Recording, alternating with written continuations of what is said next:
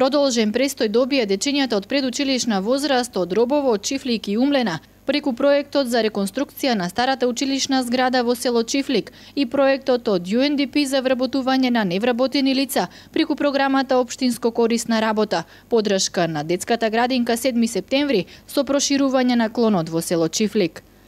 Работно се ангажирани за време од 6 месеци 7 лица, од кои три лица се ангажирани од село Чифлик, две лица од село Умлина и две лица од Пекчево, кои што всушност се првенствено насочени кон обезбедувањето на услугите кои што се однесуваат на храна, на од почетокот на проектот, значи се реновирани сите простории, тоа се две занимални и две помошни просторија и реновиран е тоалетот во зградата, што значи целосно објектот е реновиран.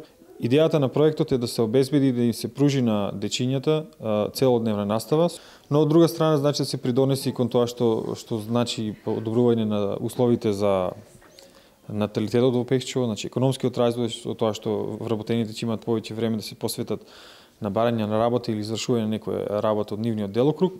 Мислам дека децата постигнуваат поголеми успеси. Се што ќе кажеме, имаме време да го совладаме тука, го научиме и веќе другиот ден гледам радост во очите на децата и на родителите што децата го совладале сето тоа. Јас се викам Мила Пајантовска. И доаѓам од И доаѓам од село Умлена.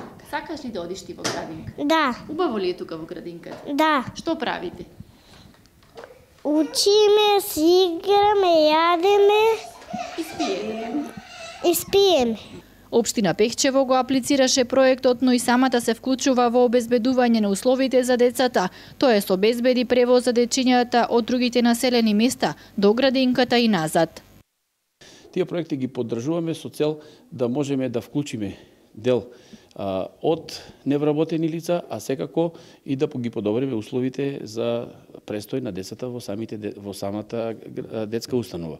Предходниот проект ни беше детските јасли, тоа остана одржлив проект и, и го задржавме така да Пехчо веќе за трајно има детски јасли. Со тоа ни беше бенефит од предходниот проект што го имавме. Со овој проект сакаме да ги збринеме децата од селата, Умлена Робово и село Чифлик. Детската градинка во село Чифлик ја посетуваат 14 дечиња, а вредноста на проектот изнесува околу 460.000 денари. Обштината од собствениот буџет дополнително обезбеди средства за уредување на дворот на градинката.